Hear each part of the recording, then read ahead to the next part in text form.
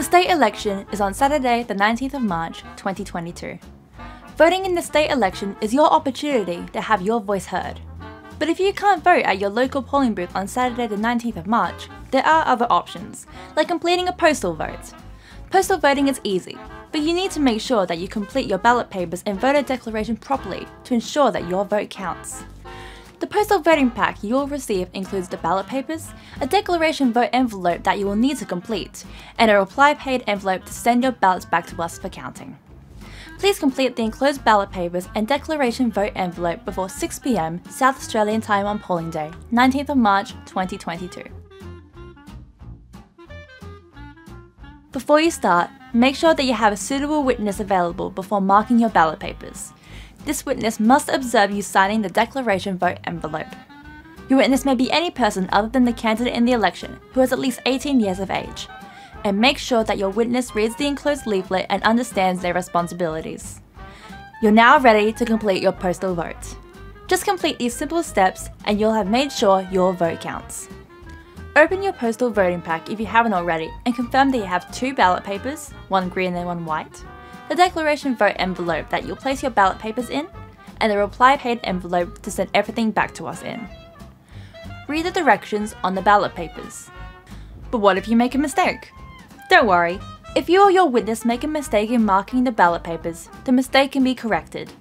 As long as your intention is clear, your vote will still count. To ensure your correction is legible, simply cross out the mistake and write the correct number alongside the box. Mark the ballot papers in private. Once you have completed the ballot papers as per the instructions, fold the ballot papers to conceal your vote, place in the postal declaration vote envelope, and seal the envelope. Complete the elector declaration in section 2 by signing it in the presence of the witness. Ask a witness to complete and sign section 3 of the envelope, but do not remove the declaration section from the envelope or your vote will not be counted. If you're unable to sign your voter declaration and have supplied a medical certificate to that effect with your postal vote application, you can ask an assistant to sign the declaration for you. Now place the declaration vote envelope in the reply paid envelope supplied and seal the envelope. Post in any Australia Post postbox immediately so we receive your vote in no less than 7 days after polling day. Or have the envelope delivered by hand to any polling booth in South Australia before 6pm on polling day or deliver the envelope to an electoral commission in any other state or territory before 5pm on the Friday before polling day. To find your nearest interstate electoral commission, check our website ecsa.sa.gov.au. Congratulations! Now you've successfully completed your postal vote.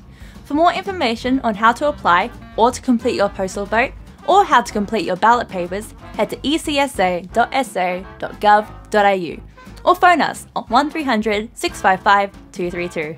And remember, voting in the state election is your opportunity to have your voice heard. Your vote, your voice.